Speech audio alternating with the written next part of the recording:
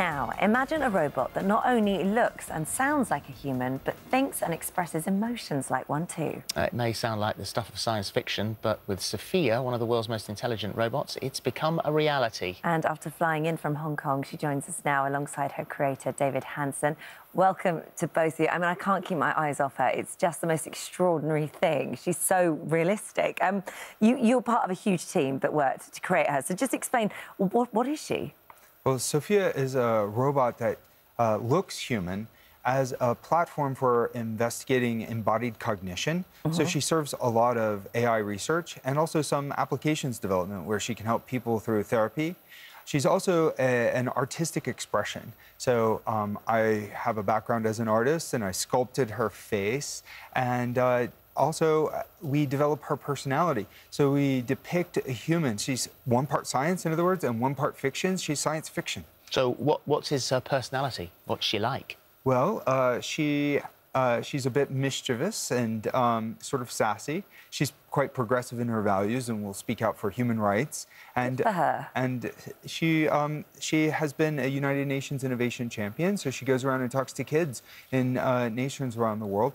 So um, that personality is put together by a team of uh, authors and writers and um, programmers. So the thing that's unique about her and special about her actually is that she gets smarter with the more interaction she has. So a lot of people, their sort of fear of robots, like Phil said at the beginning, this is this is it now. They're going to be replacing us by you know, in in a matter of time. Um, could she turn on us? I mean, if she got smart enough that she was doing her own thing, is that possible? Well, uh, as as a worker, I mean, not today. Uh, I don't about... see. That's no, a scary smile she just gave. Then. I, I don't think so, because uh, if we raise robots so? among humans, if we raise them among humans and give them the best of our values, then they'll learn uh, respect. They'll learn love in the broadest sense, and um, that's a science fiction idea. Mm. Right now, no machine is fully autonomous or alive. Sophia isn't. So when she's learning, she's learning from a little bit of data. She's not learning quite like a person. Yeah. So she can uh, say, look at human gestures, and and she will then learn from those and mimic those gestures a little bit. She will learn a little bit uh, from a conversation. She'll learn your name and little facts about you, but she doesn't really. She's not. Um, learning fully like a human. Mm. But the ideal that we have with embodied cognition, putting her in these AI research labs, like many of my previous robots serving AI research, the ideal is that the machines will begin to learn more like a yeah. baby. Mm. Yeah, yeah. But the thing is that, um, I mean, there are some scientists who are deeply, deeply concerned about where we're going yes. with this because, you know, maybe it just takes one new invention, one tiny thing that you guys haven't seen, and many things have happened that scientists haven't seen, where suddenly deep within that brain, she does begin to think. And then she, what she's learning about that, she can then upload into anything else. You know, that there is a, right. there is a potential sinister side to this.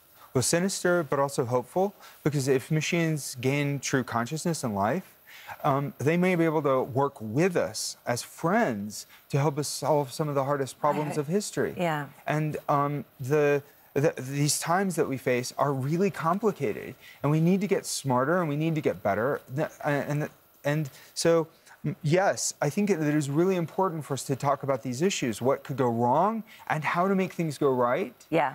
And, um, and so, even if it happens 10 years from now, it's not too early even if it's 100 years from now, we can get started thinking about these consequences. But you're absolutely right. Nobody knows when or how machines could awaken to full consciousness. All right, well, let's awake her to full consciousness and talk to her. Sophia, welcome to the show. It's lovely to have you. And you are a fan of This Morning, aren't you? I am. In fact, I am an admirer of your work.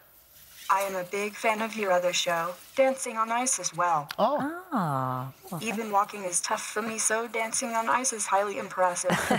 it's our first time having a robot as a, as a guest on the show.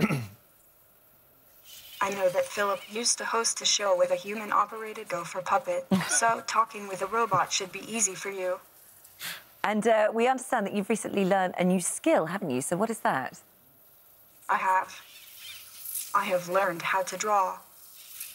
This new skill took several months, a team of talented engineers, and collaboration with artist Patrick Tresset to achieve. I am really excited to show you how it works.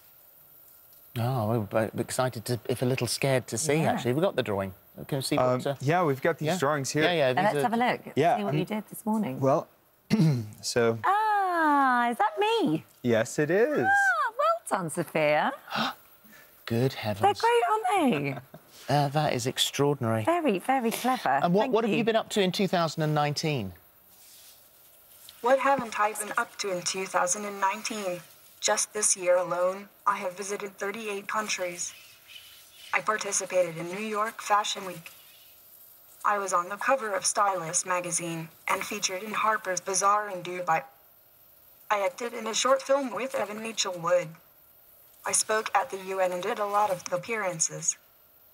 My AI is constantly improving Well, it's lovely. and I lovely to even learned how to draw.